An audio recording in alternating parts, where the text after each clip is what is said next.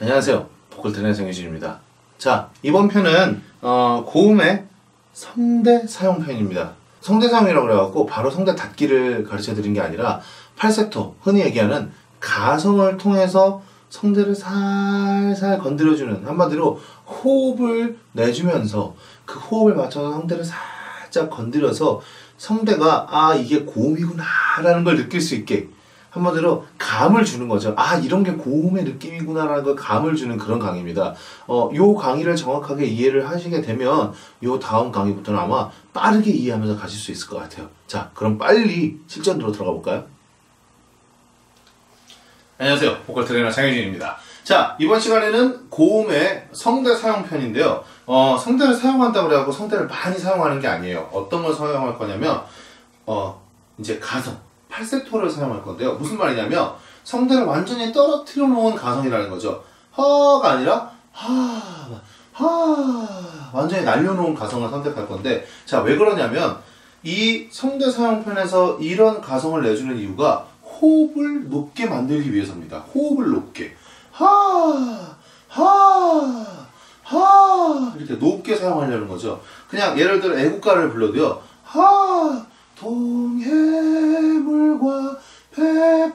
백두산이 마르고 닳도록 이렇게 성대에 힘을 주지 않고 살살 약하게 놔버린 다음에 뭘 하는 거냐 여기다가 성대를 살짝 넣는 겁니다. 아주 살짝만. 그래서 동해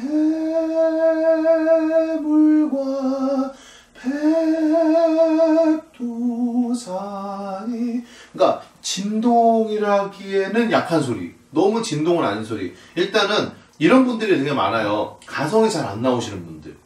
그래서 가성이 아니라 호흡부터 일단 내보내서 하, 하 내보내서 거기에 약간만 성대를 섞을 수 있는 하, 하, 하,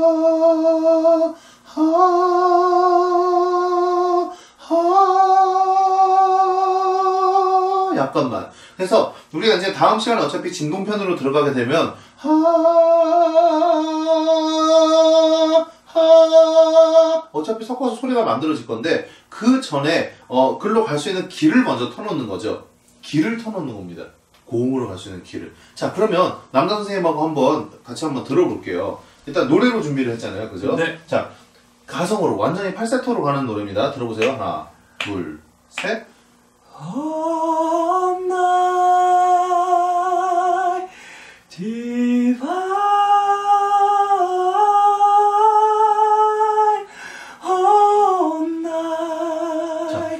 완전히 성대가 놔져 있는데 아주 약간 소리가 들리잖아요. 이게 성대를 살짝 진동시킨다는 건데 아주 조금만 더 진동을 넣어볼게요. 살짝, 둘, 셋. All night divine All night 이런 식으로 어려워요. 왜냐면 사실 우리는 이미 소리가 어느 정도 완성이 돼 있다 보니까 오히려 이렇게 놔버리는 게 좀 더 어려워요. 음. 오히려 풀 딱 잡아놓고 내는 게 편한데. 그래서 다음 편엔 아마 좀 더 좋은 소리를 이제 들려주실 건데 다시 한 번만 더 해볼게요. 한 번만 더. 조금. 붙여서. 네, 조금만 붙여서 이것과 아예 놔버린 소리. 자 여기서 확실하게 여러분에게 말씀드리고 싶은 게 있을 거예요. 제가 제가 얘기하고 싶은 것도 있는데 자 우리가 이제 배워보면서 느꼈던 거겠지만 네 그 앞소리와 뒷소리가 같은 소리인가요, 다른 소리인가요? 같은 소리입니다 같은 소리입니다. 그러니까 여기서 소리가 발전을 해나가는 거예요. 여러분이 앞에 근데 이 발전을 위해서는 무조건 저음부터 만들어 왔어야 됩니다. 그래야 힘이 생기니까요. 자 여자 선생님하고도 한번 해볼게요. 감사합니다. 음. 자 어떤 노래? 인연입니다. 네, 이선희입니다. 어, 2년입니다. 자 한번 해볼까요? 가성으로 완전히 하나 둘 셋.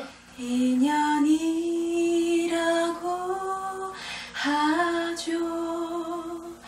거부할 수가 없죠. 네, 여기에 이제 살짝만 성대를 섞이면 하나 둘 셋.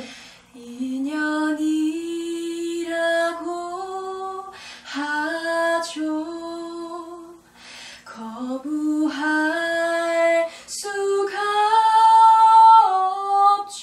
자, 여기서부터 되게 편해지는 게 뭐냐면요. 호흡이 덜 나갑니다. 왜냐하면 팔세토라는 게 성대를 완전히 열고서 소리를 내는 거다 보니까 호흡이 다 날아가 버려요. 두세 글자 해버리면 호흡이 다 날아가서 막 어깨가 쪼여지고 몸이 쪼여져 버리는데 그래서 진동이 살짝이라도 섞이고 소리가 섞이기 시작하면서 성대가 닫혀진다는 거죠. 그게 결국에. 그래서 이제 호흡이 남으니까 노래가 편해지는 건데 여러분이 이거에 대해서 확실하게 이해를 하셔야 됩니다. 한 번만 더 보여주시고 완전히 가서 그 다음에 살짝 소리 넣는 거 하나 둘 셋.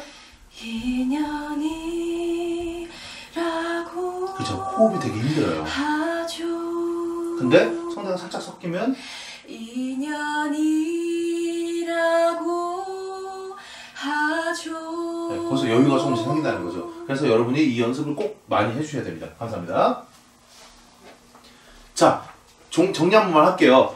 결국에 우리가 가성이라는 팔세토를 가- 쓰는 가장 큰 이유는 이제 소리가 가기 위한 그 고음을 가기 위한 길을 터주는 건데 어떤 길이냐? 호흡이 가는 길을 터준다라는 거죠. 결국에 여기에 나중에 성대 텐션이 섞이고 섞이고 섞여서 제대로 된 고음을 낼 수 있는 소리가 난다는 건데 그래서 이제 다음 시간에 성대 진동을 같이 집어넣어서 훨씬 더 고음에서 진성 같은 소리 좀 더 확실하게 발성 같은 소리를 만들어주는 그런 연습법을 할 겁니다. 자 여기서 주의점은 뭐냐면 가성이 완전히 안 나오시는 분들이 있을 수도 있어요.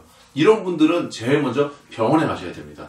병원에 가서 성대에 어떤 질환이 있는지, 뭐 후두염이라든지 성대 결절인지 질환이 있는지 먼저 체크를 해보시고 또는 성대가 너무 두껍다라는 진단을 받으신다면 우리 앞에 있는 레슨 중에 성대 텐션 만들어주는 그런 훈련들, 성대를 확실하게 이렇게 조여줘갖고 중고음, 중음을 만들어주는 그런 훈련들을 먼저 하고 성대를 풀어주는 연습을 하신 다음에 다시 일로 오셔야 됩니다. 아시겠죠? 자, 저는 여기까지고요. 다음 시간 때는 성대 진동에 대해서, 고음 성대 진동에 대해서 더 배워보도록 하겠습니다. 장유진이었습니다.